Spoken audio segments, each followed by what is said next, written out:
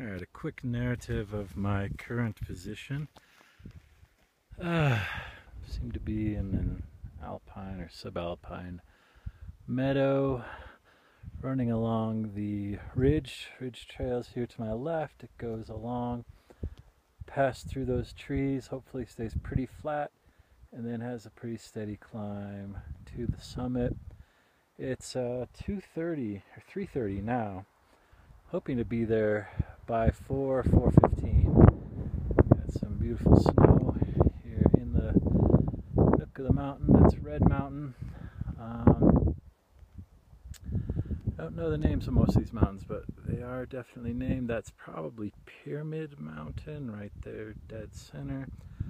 Um, like I said, that one right to the left of it's probably got a name, and there's one just behind it that's got some snow that's hard to see and then another one with a peculiar shape right dead center there. Anyhow, look those up later. Um, and then coming across here, nothing too interesting until you get to this mountain. Uh, again, I'm not sure what it's called, but I'm sure it has some fascinating name.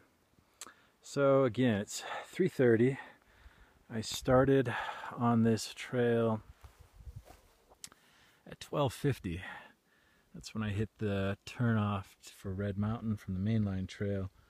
So that means I've been going almost three hours, two hours and 40 minutes. Um, so two hours, 40 minutes. So 20 minutes. I don't think I'll quite make it to the ridge and the or the top in the 33 hour span that I was hoping for. Um, but we'll see.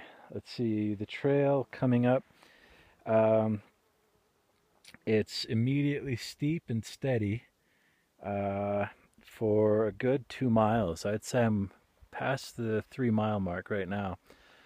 Uh, there's some flatter bits, but it's mostly steady uphill, pretty hard work.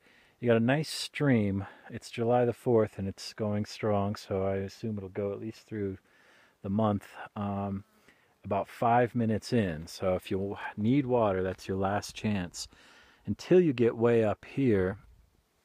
And then you're in snow. And I've passed a little snow on the trail. And again, it's going to be uh, weather and time of year dependent. And I passed a big snowbank down below. So if I were desperate, I could get snow there. Um, you can see there's some